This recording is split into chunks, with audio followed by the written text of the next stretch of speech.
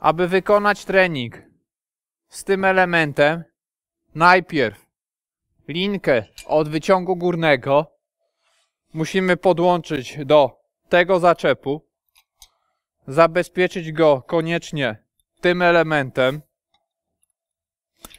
I teraz już podczas samego treningu, jeżeli stwierdzimy, że obciążenie ramy Smith maszyny jest dla nas za duże, to w bardzo prosty sposób możemy to obciążenie zmniejszyć poprzez zdjęcie z tej i z drugiej strony tych tulej.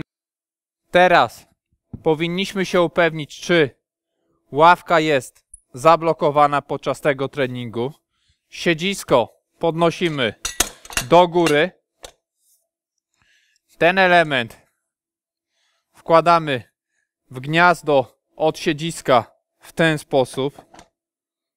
Z drugiej strony musimy koniecznie zabezpieczyć tą nakrętką. Tą linkę łączymy z linką od wyciągu górnego i możemy rozpocząć ćwiczenie.